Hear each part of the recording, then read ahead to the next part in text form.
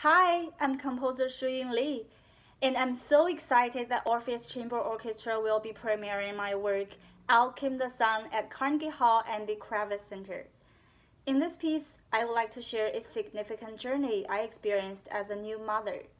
More specifically, it is about baby blues, aka postpartum mood swings. My son was born in March 2016, and after the first week of absolute bliss, some dark emotions um, that I did not anticipate arrived. Fortunately, these blues usually go away within two to three weeks, and gradually my tears dried out, and I started being able to trust the joy of being a new mother again.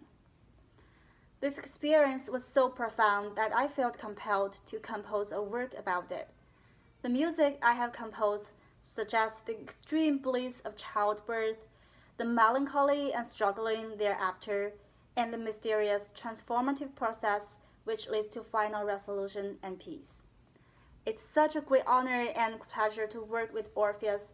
I'm really looking forward to the premiere and hope to see some of you there at Carnegie Hall and Kravis Center. Thank you very much.